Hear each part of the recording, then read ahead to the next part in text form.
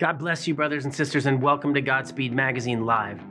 The question that we're asking this week is Hollywood, can you save it? Or is there no hope? With that breaking news, after holding police at bay for hours, Chris Brown finally comes out of his Tarzana mansion. One of the accusers claimed Singer fondled him on a movie set when he was just 13. Another claimed he was 17 when Singer had sex with him at a party at his house that same year, while the third man alleged Singer had sex with him when he was just 15. Before he became Tim the Toolman Taylor or Santa Claus, Tim Allen served a 28 month sentence for trafficking cocaine, and it could have been a whole lot worse. Kristina Cohen was first to make a claim against the actor. The actress claimed that he had raped her three years prior. Westwick denied the allegations in an Instagram post he later deleted. Do not know this woman, he wrote. I have never forced myself in any manner on any woman. I certainly have never committed rape.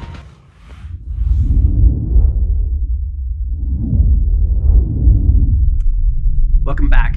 This week's featured article from the Harvest issue of Godspeed Magazine is entitled Transforming Hollywood Movie Guide's Effect on Tinseltown.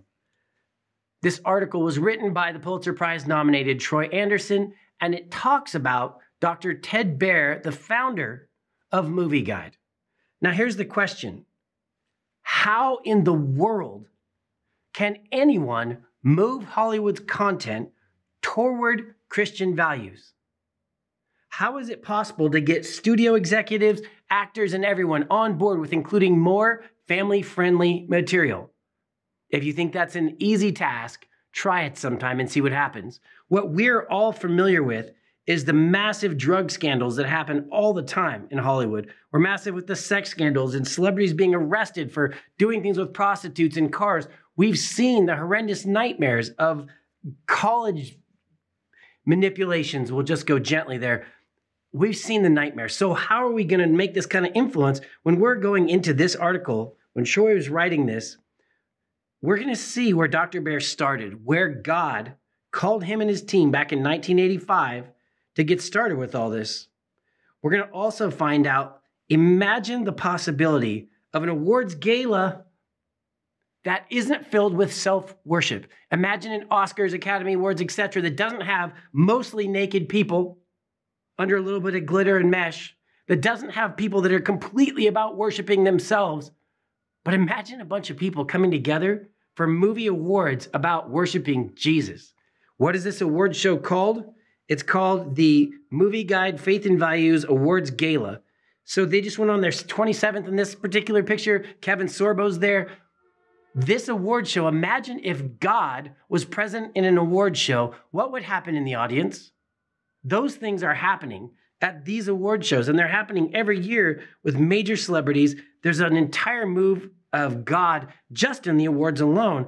But there's kind of a question that pulls itself out, which is who is this Dr. Ted Baehr guy, and how did he create this amazing team of people who are willing to completely devote their lives to influencing the content of Hollywood? Where did he come from? Who are his parents? It's interesting to find out who his parents are and that they came from the movie industry. It's amazing to find out that Ted was involved with incredibly successful projects before he came into Movie Guide, and that gave him the edge. It gave him the ability to get in initially with these executives. And again, at the end of it all, the key thing is finding out how is he influencing these executives and actors now? What are those pieces? He even wrote a book, How to Succeed in Hollywood, which you'll see right here. And because we're a digital magazine, you'll just click on the book and it will immediately bring you, if you want to go and buy a copy of the book and read about how to succeed in Hollywood, it's there. You don't have to do anything else. It'll bring you right back. For those of you like me who are parents and you're concerned about what your kids are watching, or whether you yourself want to go and be exposed to the filth of non Christian content, you're going to be able to get a sense to just click on the magazine here. You'll get to watch, an, you know, them talking about which films you should watch or not watch, what's in the films, and they really don't go out of their way to tell you highly negative things. They just make it really clear what's in the film so that you can choose on your own what's worth it, what's not. But this is the beauty of the digital magazine format. It brings everything together. You have links to go to books, you have videos to go to the content, you have pictures that help you understand who these people are. You can go back into all sorts of information right from this article in Godspeed Magazine. Just in case all of this isn't enough for you, though, when we return in just a minute, we're going to bring you Dr. Ted Baehr in person as I interview him here live in Godspeed Magazine Live. So stay tuned, don't move, and we'll be right back. Every time I tell someone I'm a cat person, like, what does that mean? You don't like dogs? No, that's not what that means. It just means I like other people's dogs. I don't like that kind of energy in my house. You know what I mean? That annoying dog, best friend in your face all the time energy. Just like, yeah! I love you. You're home. Where have you been? My second kid came out with the worst list. He's like, look, Dad, I need a smartphone and an iPad. I'm like, well, I'm Santa Claus. I didn't want to tell you. I was hoping that your friends would tell you, but you have backed me into a financial corner with your $3,000 Christmas list. I would tell people that we were engaged, and everyone's advice to me was the same. Pick your battles, buddy. That's not fair. What do we say to women? Oh, you're getting married, huh? You're gonna win.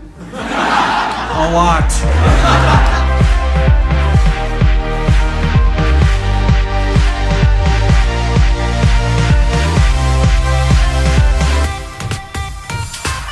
Grew up in a Latino home, you cannot talk back to your mother. I remember I thought I was old enough to talk back to my mom. She whooped me and grounded me for two weeks. Had to call my wife, let her know I couldn't come home. Baby mom is tripping.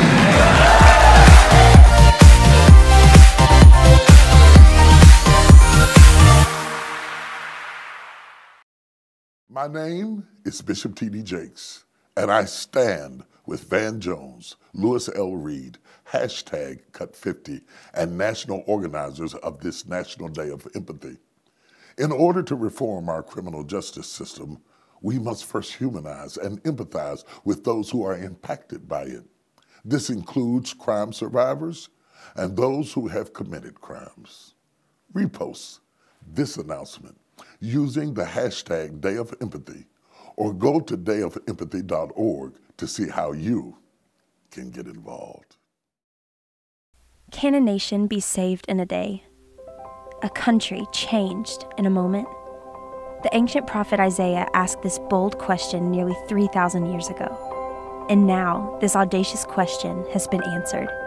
All of these events and this historic week long campaign culminated into one groundbreaking moment that changed the entire nation. And the following morning, the front page of all four Honduran national newspapers read, We have a new Honduras. In the new Honduras, we love ourselves, so we discover and complete our purpose. In the new Honduras, we love our children, so we give them education. We love our family, so we pass on our values. In the new Honduras, we love our nation, so we believe in its prosperous future. And Father in heaven, y Padre en el cielo, we invite your kingdom to come to the nation of Honduras. Invitamos tu reino venga a la nación de Honduras. Can a nation be saved in a day? Yes, it can. One nation, one day.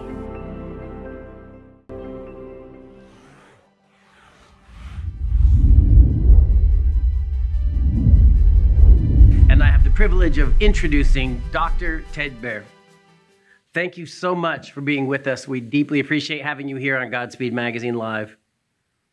Oh, it's great to be with you, even though we're doing it through Google and, you know, and technology can always improve. Many years ago, I was a research engineer for NASA in 64, and we got a rocket to the moon. So we can always improve technology. Wow. I have a hundred questions there, but I'll save them for a different date. There's a particular individual, Les Romas, that we both know. I would bet anything, and we'll have to talk about that at a separate time. But Dr. Baehr, would you do us the honor of praying for us over the show, over today's show? Lord, we just ask you to bless the show, not for our sake, but the sake of the people who are watching it, of people who are tuned in, the people who hear it. Let them hear clearly, let them see clearly, let them see your spirit, your face, your truth being revealed to them in a mighty and powerful way. let them understand that the good news is that anybody, anywhere, at any time can be delivered, redeemed, renewed, revived, and that you will, uh, you know, conduct their steps and help them to achieve the desires that you have laid on their heart. In Jesus' name, amen. Amen. All right, Dr. Baehr, I am eagerly awaiting. We focus on God in action specifically. And so, my first question is How did God bring you into this vision in 1985 to create Movie Guide? Well, I grew up in the movie industry. My parents were movie stars. My father starred in about 62 movies. My mother was a star. Um, I was born in 46 when he was starring in Showboat uh, on Broadway. Uh, he played the gambler, which was the lead role.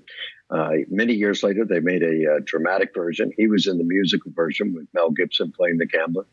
But he did a lot of plays. He did plays from 46 to 86. My mother died when I was young, and I grew up without faith and values. Uh, so when she died, I just went off the deep end uh, in many different ways. I'm not going to go into detail. I just uh, lost it, did a lot of um, lived with four women, did a lot of drugs, etc. One of my friends' fathers owned MGM, and he blew his brains out. Another one lost his brains.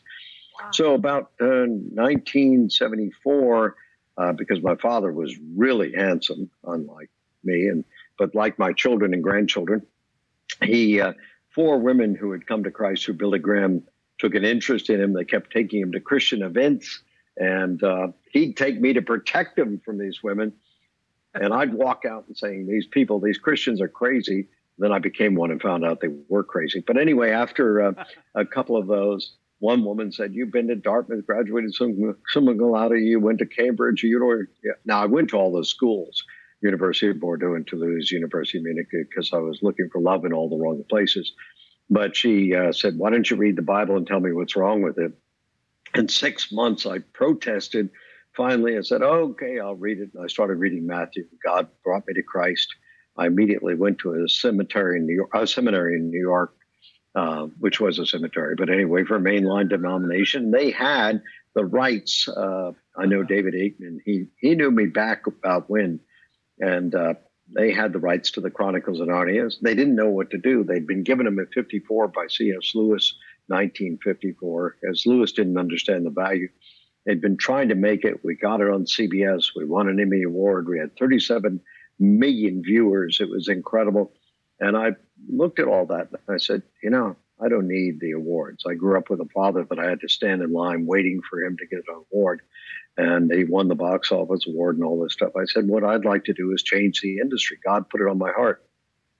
So when we started, there was only one movie with positive Christian content. And uh, I'm not talking about TV. I'm talk, not talking about news. TV has got a lot of uh, rough areas, mainly because of the advertisers or the negative napobs in the TV world. Uh, but in terms of movie, we've gone from one movie with positive Christian content to about um, 67% last year, which was absolutely incredible. Uh, and the, the biggest movies this year are absolutely incredible. The first one let's say How to Train Your Dragon is about uh, the hero being told he's got to man up so he can marry uh, the heroine, Astrid. She's told that she has to be a woman. The next one, Lego movie, is the same thing. The next one, Toy Story. Uh, Woody has to uh, leave his toy friends behind so he can marry Bo Peep. Bo Peep, when she sees him put on dress, she's been broken, she's been cast out. So one movie after another is expressing sentiments. And most of these people have been to Ark Gala. Most of them know us. And so we see more Christian content, we more, see more family content in the movie industry. And I can explain how that differs from television and everything else, but it would take us too long, so I won't bother with that. But we've seen a lot of miracles. Just the miracle of going from one movie with positive Christian content to 67% is absolutely incredible. And everybody told me in the beginning it couldn't be done. So it's been done. That is so beautiful and so amazing. I think the perception of probably most of the country that 67% of content is focusing towards biblical values in Hollywood, they would immediately go, What? But then when you actually read and listen to what you're talking about, even just, I was reading earlier something you had said about, um, oh, which movie well, was it? Let me, let me il- illustrate that to you in a better way. Um, Hollywood tries to make movies for different pockets. When we started out, if you saw a movie with a Christian in it, like a priest in Poltergeist, he had a gun, knife in his hand and he was about to knock on the doorbell so he could stab people.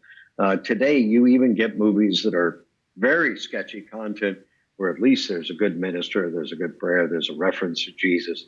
Uh, now, why did they do that? Because we've shown them that it's a big audience. Every week, about 125 million people go to church, and about 25 million people go to movies.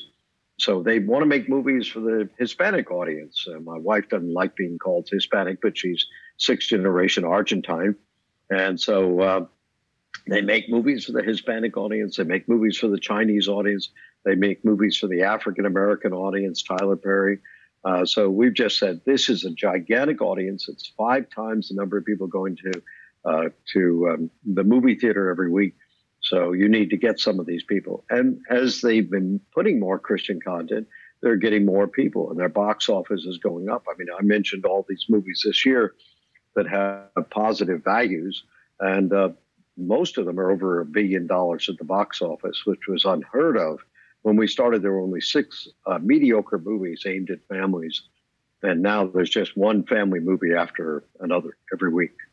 That is such a key point. I want to make sure that this goes out for any of you watching. A key point here is what was the strategy that moved the artists and the studios to do more biblical value content? Welcome, blessed soul, to Movie Heaven, where we have but one glorious streaming service, VidAngel. VidAngel gives you and the little cherubs freedom to filter out any mature content you don't want to see.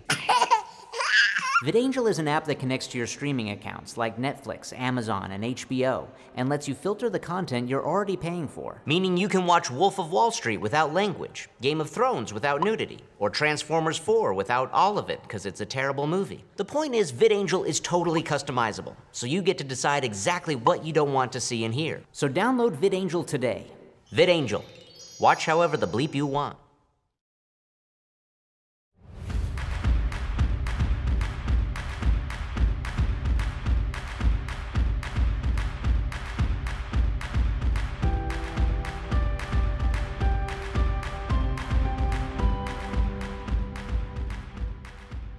What if we picked one day and tried to have one of the biggest national days of action on criminal justice in the history of the country. Crime hurts, justice should heal.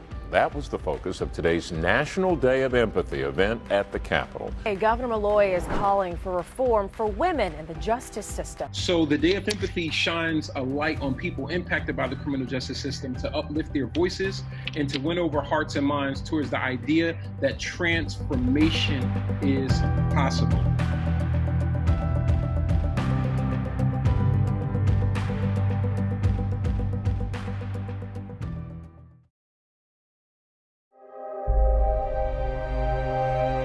Some people never seize their moment, paralyzed by their own thinking, by the barriers that hold them back. But can you hear Jesus calling?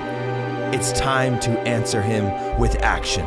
Your destiny, future, and family are not controlled by what you don't have, because they rest in the hands of the one who loves you, saves you, redeems, and heals. It's time to rise in the authority and power of Jesus, to stand in faith, because you are next.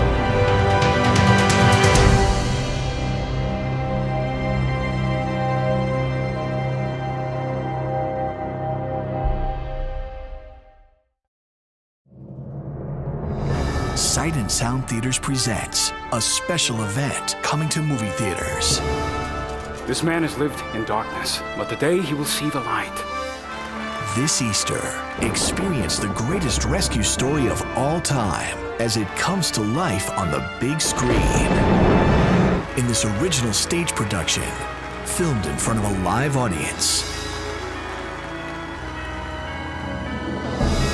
I have changed, and that is who Jesus says I am. One man did all this live in us, and He can live in you too.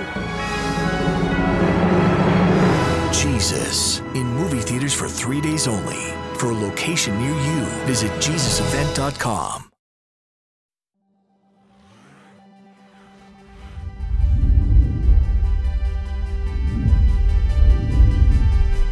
This goes out for any of you watching. A key point here is what was the strategy that moved the artists and the studios to do more biblical value content? And the specific thing was he translated from, let's say, Christianese, our language, over to the false god of cash, right? Cash is king. And we need in the Christian body to understand that if the secular world does not speak our language, they're not interested in all the things we care about, but they are interested when we affect them at the bank account. And so, therefore, things like voting with your wallet, and I mean what you choose, what you buy, where you go to shop, has everything to do with what you experience coming at you in the market. And so I want to make sure that you consider how genius what he's done is and how important that move is. Look at the results from one movie to 67%. And and and and again, like he pointed out a little thing that I sort of missed because it was somewhat God smuggled, as Kerry Solomon calls it. He had said, uh, uh, the point that he had made in a, an article I read earlier today was about Boss Baby, the movie Boss Baby, and how they had actually lifted up Jesus as boss in Boss Baby. And I had noticed that myself because I have young children. And, and so these kinds of things, our awareness of what is working is really important rather than just saying, oh, that thing is not perfectly Christian. Yeah, but the farther we go that direction towards biblical values, the better off all of us are. So that's the strategy is to translate, isn't it, Dr. Baehr? Right. That's the strategy. And holding up, I don't know whether you see it, our report to the entertainment industry. It's about uh, 80 pages in very small point type. Uh, but in that, we do every movie. We show how they perform at the box office. Mm. Uh, we show how they make money. But we, we look at them in terms of a 150 criteria. So we look at, uh, you know, Plato was a was a uh, follower of ontology, and Aristotle was epistemology but we also look at it in terms of biblical views. So there's art and uh, you know the creative aspect. So actually, a lot of studio guys ask me for this report and say uh, because we teach them how to make money at the box office. Now there are a lot of other lobbying units in Hollywood. There's about uh, 30 uh, GAY groups, and there's about 20 uh, Muslim groups. There are about 1,200 groups. And my, one of my sons is a major Marine Corps. They have a representative in Hollywood. A friend of mine, Michael Emerson, was a representative of the state. But none of them can show the figures that we can. That if you cohere to more Christian values, the better you do at the box office. uh, we do it in terms of movies. We look at 100% of the movies that open in 100 theaters or more. So we have a thorough analysis of what's out there, and we we can see where they um, failed. So people are always asking us to tune up their scripts, tune up their movies, look at their movies. How can their movies reach a bigger audience? Wow, that is so beautiful. The influence from the inside. I'm thinking of Daniel and all kinds of other things. I um I want to make sure that we connect all of you to specifically how to know how the rating system works, how to get a hold of it, how to connect to Movie Guide in general, because I think um, this organization is reaching tens of millions. I've seen 55 million plus, depending on where you do your research, massive amounts of people. They're influencing all of Hollywood. Uh, if you're one of the people who still isn't using this on a daily basis, and to be honest, I knew about Movie Guide, but I didn't quite understand how relevant it was to me as a dad of little kids. It's extraordinarily relevant, right? It's it should be my normal go-to, and now my friends have specifically talked about Dr. Baehr for quite some time, and I still didn't realize its value proposition and where it directly hit me. So, would you help the parents, all of us out there who may have somehow missed that they should be watching and paying attention to what you're doing on a daily basis? How does the rating system work and where do they interact with that? What's the best website place to do it? Well, first place I'll go, the best website is movieguide.org. but the way we derive the whole rating system, which was also what we used for the report to the entertainment industry, is when I was putting myself through cemetery, I mean seminary, uh, it's a joke. okay. We're with when you. I was putting myself through a, a mainline seminary, David Aikman knows which that was. I was head of the TV department, City University, of New York. And we, because I was so concerned, because I come out of the dark side, we got 60 professors together and we did the first media literacy course. After about five years, that course was hijacked uh, by leftists. And uh, we put a biblical base to it. And that course helps parents to see what are the stages of development of their children, what can they see, and what shouldn't they see, and how does it influence them depending upon their susceptibility. Some kids are susceptible to violence, about 10%. Not every kid is susceptible to violence. So many people will say, well, it doesn't hurt me. Well, probably doesn't. But then if you look at the people who are doing the shootings, it did hurt them. Right. And about 25% are susceptible to drugs. I make a joke that I was a pudgy little teddy bear, so I'd get beat up and I was susceptible to alcohol. Whatever it is, somebody's susceptible to something. 66% of the young girls are susceptible to low self esteem. And when they see these models and celebrities on TV or in movies, they think they don't measure up. Mm-hmm. And therefore, in Hollywood, you get kids around, girls around nine years old that are trying to get, um, you know, augmentation and all the rest of it in plastic surgery. So we've got to get a handle of this. Movie Guide looks at it in terms of all that to help you. We don't say yes or no. We're not trying to sow the seeds of rebellion. We're trying to help people develop discernment so the children grow up discerning. They want to choose the good and reject the bad. For instance, I was on one program in Dallas, and a friend of mine was interviewing me, and a girl called in and uh, said, You know, I wanted to go see this movie, but then you told me, you know, that an animal was killed in the movie. And, you know, I'm, I'm thinking about now the movie Joker. If you knew that Joker killed his mother, you know, I think that that's not what most of us want to see. So by exposing that through the content section, through the ratings, now we'll give a movie four stars because it's extremely well made. Joker is extremely well made. Let's forget about that.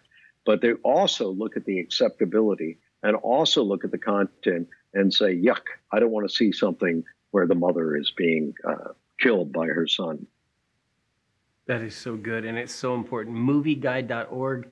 And it's so important, too, just the help of understanding how to filter what you're hearing as a parent in relationship to is gun violence everybody? Is this everybody? And getting a sense of how much of a composition, all those compositional elements are so incredibly important. I see a number of things that I can't wait to do with you, and and why, uh, for example, Bobby Romas told me so many times that we needed to meet um, and I look forward to figuring out how we can lift and push out more and more of these incredible tools that you have to offer to everybody. Um, and I know we're only a drop in the bucket compared to what you're already doing, but we want to add as many drops as we can to making sure this Good. gets wider, bigger, And we're stronger. here to help you too. Uh, you know, it is all truly for the kingdom and truly about the uniting the body of Christ. So thank you so much for being here with us today. We deeply appreciate your time and your expertise and the value of what you're bringing. This is our harvest issue right now. We're in the middle of our harvest issue, and you'll see all kinds of the things, including both of your parents' pictures in the feature we just did on you of this issue coming up right here in November. So, uh, thank you for being with us. Thank you for your time, and thank you for being a part of the body. Have a great, great day. God bless. And God, God bless everybody out there. Bye bye. Bye bye and for each of you that bring the full gospel of Jesus Christ into the world. Godspeed.